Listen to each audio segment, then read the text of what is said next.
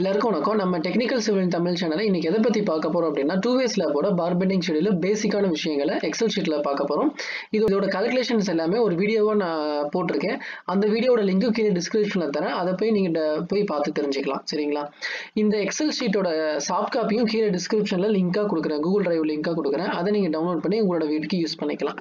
ஓகேங்களா இப்போ நீங்கள் பார்த்துட்டு இருக்கிற ஷீட்டில் இந்த க்ரீன் கலரில் பச்சை கலர் இருக்கிற இடத்த மட்டும்தான் நீங்கள் டைப் பண்ண போகிறீங்க இது டைப் பண்ணி முடிச்சதுக்கப்புறம் இந்த இடத்துல என்ன வரும் அப்படின்னா உங்களுக்கு எவ்வளோ கிலோகிராம் தேவைப்படுது ஸ்டீல் அப்படிங்கிறது ஆட்டோமேட்டிக்காக வந்துடும் ஸோ இந்த ஷீட்டில் நீங்கள் எதையும் எங்கேயாவது தொட்டு மாற்றினீங்க அப்படின்னா கண்டிப்பாக ஃபார்முலா சேஞ்ச் ஆயிரும். ஸோ நீங்கள் எதையுமே டச் பண்ண தேவை கிடையாது.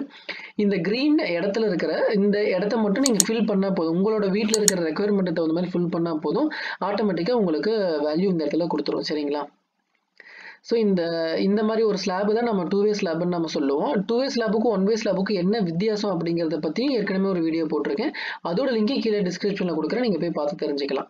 இப்போ நம்மளோட ரூம் சைஸ் தோராயமாக பதினெட்டு அடிக்கு பன்னெண்டு அடின்னு வச்சுக்கலாம். அதாவது ரூம் சைஸ் லென்த்தில் பதினெட்டு அடின்னு கொடுத்துக்கோங்க. பிரெத்து வந்து பன்னெண்டு அடின்னு கொடுத்துக்கோங்க.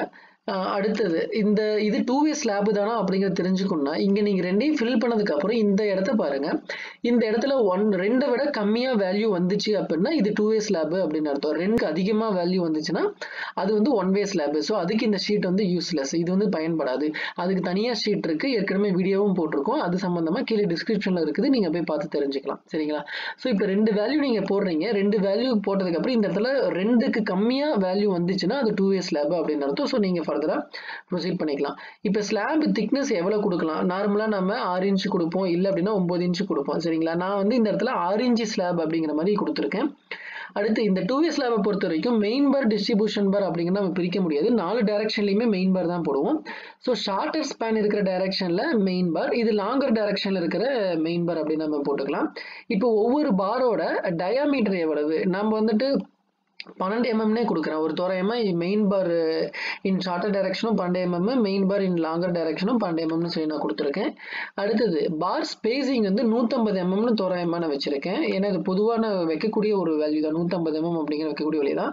ஸோ இங்கே பாருங்கள் நான் தேவைப்படுற வேல்யூ இங்கே டைப் பண்ண டைப் பண்ண இங்கே ஆட்டோமேட்டிக்காக உங்களுக்கு ரீடிங் வந்துகிட்டே இருக்கும். ஸோ இந்த இடத்துல நூற்றம்பது அப்படின்னு நீங்கள் டைப் பண்ணிங்கன்னா உங்களுக்கு main bar in longer spanner shorter spanner ரெண்டுக்குமே எவ்வளோ ஸ்டீல் தேவை அப்படிங்கிறது இங்கே கிலோகிராமாக வந்துடும் அடுத்து top extra bar top extra எந்த இடத்துல போடுவாங்க அப்படின்னா இந்த ஸ்லாப் டைரக்ஷனில் எல்லில் அஞ்சு பங்கு பிரித்து அந்த லென்த்துக்கு டாப் எக்ஸ்ட்ரா போடுவோம். அதாவது கிராங்க் எங்கே ஆரம்பிக்குதோ அங்கேருந்து அந்த ஸ்லாபோட எஜ் வரைக்கும் கொடுக்குறது தான் டாப் எக்ஸ்ட்ரா நம்ம சொல்லலாம்.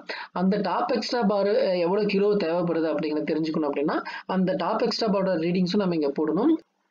ஸோ டாப் எக்ஸ்ட்ரா பாரோட டயாமீட்டர் எட்டு எம்எம் பாரு டாப் எக்ஸ்ட்ரா பாரோட ஸ்பேசிங் நூற்றம்பது கொடுத்துரும் நமக்கு ஃபைனலாக இங்கே கிடைக்கக்கூடிய வேல்யூ வந்துட்டு முந்நூற்றி ஐம்பத்தேழு பாயிண்ட் ஜீரோ ஒன்பது கிலோகிராம் அதாவது இந்த மாதிரி இருக்கிற ஒரு ஸ்லாப் பதினெட்டு அடிக்கு பன்னெண்டு அடி இருக்கிற ஒரு ஆர்சிசி ஸ்லாபு கட்டுறதுக்கு தேவைப்படக்கூடிய கம்பியோட கிலோ வந்துட்டு முந்நூற்றி ஐம்பத்தேழு புள்ளி ஜீரோ ஒன்பது.